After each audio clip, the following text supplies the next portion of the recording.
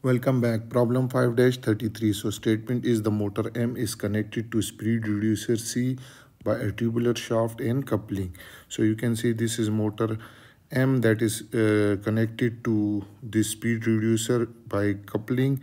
If the motor supplies 200 horsepower and rotate the shaft at rate 60 600 revolution per second so power of motor is 20 horsepower and it's rotate at 600 revolution per second. The diameter, determine the diameter minimum and inner and outer diameter di of the shaft if d over di over d naught is 0 0.75.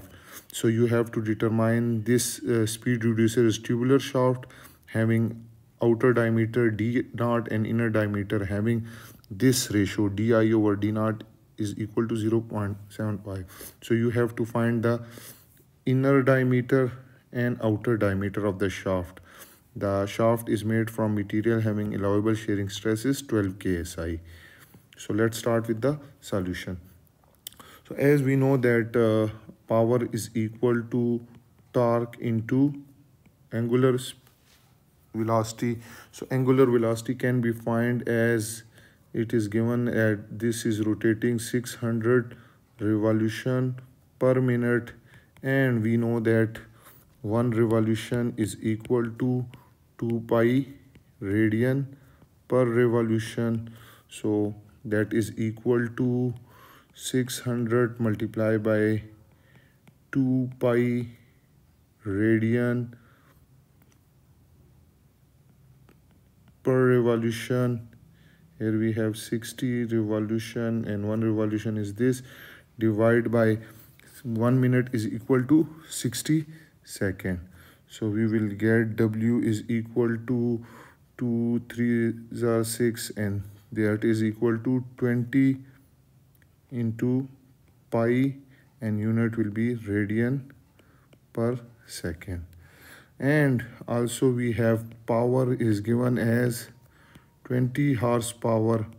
And we know that 1 horsepower is equal to 550 feet into pound per second. Okay so 20 horsepower 20 multiplied by 1 horsepower. So 1 horsepower is 550 pounds into feet per second. So we will get 11,000 feet into pound per second. This is power. Now you have both angular speed and power. So you can calculate torque. So torque is equal to power divided by angular speed. So power is 11,000 divided by angular speed which is 20 multiplied by pi and when you convert it you will get 175.07 and unit will be pounds into feet. So when we convert this into inch so 175.07 multiplied by 12 and now the unit will be pounds into inch. That will be equal to 2100.84 pounds into inch. Okay. So we have got the power. What we will do is that we will move toward finding the maximum shearing stress. It is given that allowable or maximum shearing stress is equal to torque into c divided by j. So what we will do is we will find the j for tubular section. For tubular section the j will be equal to pi by 4 pi by 2 into c outer power 4 minus c inner power 4 so we have been given outer diameter which is c naught is equal to c naught is equal to d naught divided by 2 so i will write d naught over 2 whole power 4 minus di power di over 2 power 4 okay. So j will be equal to pi by 2 into d naught power 4 over 16 minus di power 4 over 16 clear? Since it is given that uh, di over d naught is equal to 0 0.75 so di over d naught is equal to 0 0.75 so implies that di is equal to 0 0.75 into d naught. So i will replace it. So j will become equal to pi by 2 into d naught power 4 over 16 minus j di will be equal to 0 0.75 into d naught power 4 over 16 okay. So again when you solve this you will get j is equal to 0 0.0671 d naught power 4 so you have this polar moment of inertia in term of d naught is 0 0.0671 d naught power 4 okay.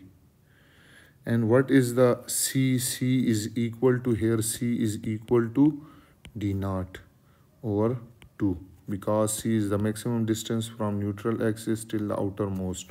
So c is equal to this. Now you have to put all the values in this formula. We have allowable shearing stress is equal to torque into c divided by j. So allowable shearing stress is in given data is 12 ksi so you have to just put the value. So 12 into 10 to the power 3 is equal to torque.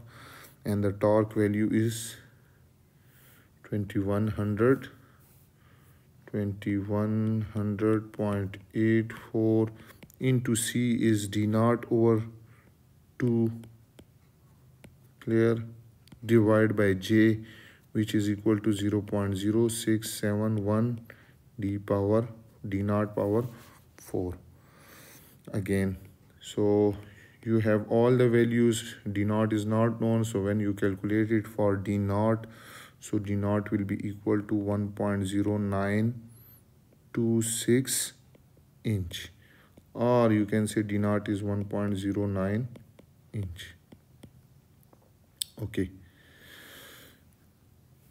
This d naught will cut with this so we have d cube so you have to take d naught cube on, on one side and all other term and then you have to take the cubic root on both side by using the calculator. So from here you will get this d naught is 1.09 inch. Now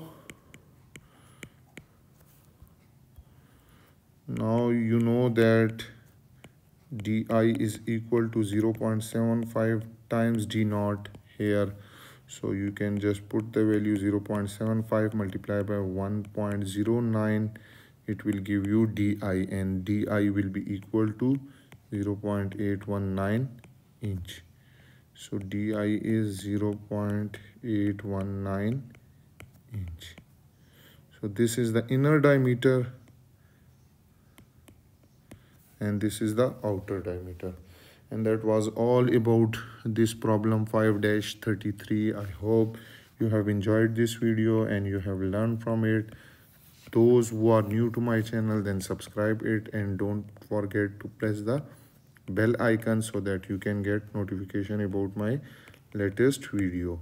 If you have any question you can ask me in comment section. Thank you for watching